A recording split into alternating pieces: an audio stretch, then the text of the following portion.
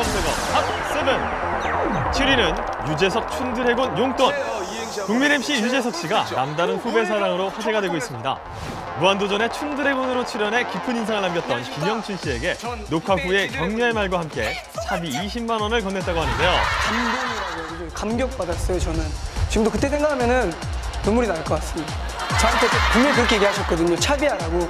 그래서 제가 그 후불제 교통카드에 거기에다가 제가 돈을 20만 원다 넣었습니다. 한 4개월 정도 교통비를 벌었네요. 우와. 저에게 주셨던 격려를 위해서라도 더 열심히 해서 저도 사실 꼭 유재석 선배님 같은 그런 훌륭한 방송인 예능인이 되도록 노력하겠습니다. 역시 유느님 최고예요. 6위는 전현무 생방송 펑크. 뉴스부터 예능까지 종횡무진 활동하고 있는 KBS 전현무 아나운서가 생방송 라디오 뉴스를 펑크내는 일이 있었습니다.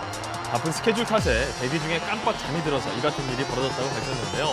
그 후에 라디오를 통해서 공식 사과를 전했습니다. 하고 어, 숙직실에서 잠을 자다가 아침 5시 뉴스를 해야 되는 스케줄입니다. 했는데 어, 알람을 못 들었어요. 너무 깊이 곤히 잠이 들어가지고요. 그래서 제가 뉴스를 펑크를 했습니다. 대다수 다른 아나운서 선후배분들은 어떤 그 스케줄 속에서도 다 하시거든요. 그거를 제가 놓쳤습니다. 그래가지고 에, 마음이 좀 무겁습니다. 지금 솔직히.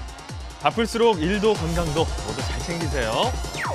5위는 심은하 남편 출마. 배우 심은하 씨의 남편 지상욱 씨가 다시 한번 서울시장 선거 출마를 선언했습니다. 지난 2005년 연예계 돌연 은퇴 선언 후 평범한 가정주부로 지내며 언론의 노출을 자제했던 심은하 씨. 이번 남편 지상욱 씨의 선거 유세에 직접 나설지에 대한 관- 많은 관심이 쏟아지고 있는데요. 내조의 영화로 변신한 심은하 씨의 모습 기대해도 될까요? 4위는 차태현 등력. 10개월이 됐는데 아무런 기사가 안 나와서 어쩔 수 없이 제가 제작 보고회 때 얘기를 해버렸구나. 했어요. 제가 선물을 하나 샀습니다. 우! 파란, 파란색으로 주셨네? 바꿔보려고. 색깔 바꿔야겠다. 아 그래요? 섹션 인터뷰 때 공주님인 걸 살짝 알려주셨었죠. 차태현 씨 등려하셨잖아요. 네, 이번 주 목요일 날 오후 2시에 득녀를 그 산모랑 아기 상태는 어떤가요? 아주 건강하고요. 굉장히 좋아하시죠. 딸이 또 나와가지고 아주 좋아하고 계십니다. 행복한 딸 바보가 된 차태현 씨 예쁘게 키우세요. 3위는 이특 강소라 우결. 토요일 저녁을 달달하게 만들었던 훈훈한 비주얼의 쿤토리아 커플과 풋풋한 매력을 보여준 권리세 데이비드 오 커플이 얼마 전에 가상 결혼을 끝냈는데요. 그 뒤를 이어서 우결에 합류할 새로운 커플에 대한 네티즌들의 관심이 폭발한 가운데 강력한 후보로 이 두 사람이 떠올랐습니다. 바로 대한민국 최고의 아이돌 슈퍼주니어의 리더 이특 씨와 700만 관객 기록을 세운 영화 써니에 출연해서 충무로의 블루칩으로 떠오른 배우 강소라 씨가 우리 결혼했어요의 새로운 커플로 합류한다는 소식이 전해지면서 인터넷을 뜨겁게 달궜는데요. 하지만 제작진 측은 무분별한 추측 기사는 자제해달라고 요청하면서 조심스러운 입장을 보였습니다. 자, 그런 가운데 바로 어제 슈퍼주니어 멤버들이 직접 결혼 소식을 알렸는데요. 이들 중 과연 어떤 멤버가 새로운 가상 결혼 생활을 시작할지 결과는 다음 주 토요일 직접 확인하세요. 2위는 김래원 몸싸움. 훈남 이미지로 많은 여성들의 사랑을 받고 있는 배우 김래원 씨가 지난 29일 새벽 강남의 한 룸살롱에서 여 종업원과 몸싸움을 벌였다는 소식이 전해져 논란이 되고 있습니다. 이 소식을 접한 많은 네티즌들은 실망스럽다는 반응을 보였는데요. 논란이 커지자 김래원 씨 소속사 측은 싸움을 말리려다 시비가 붙었을 뿐 몸싸움은 없었다고 공식 입장을 밝혔습니다. 김래원 씨는 현재 군 제대 후 수혜 씨의 파트너로 드라마 컴백을 앞두고 있는 상황인데요. 이번 일 잘 해결하시고 앞으로는 좋은 모습 기대할게요.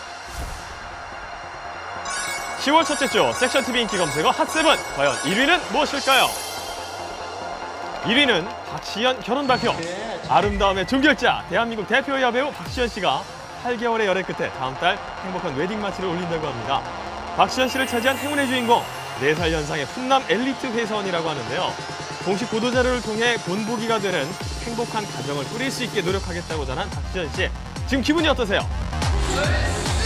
네, 시연 씨, 저도 얼쑤.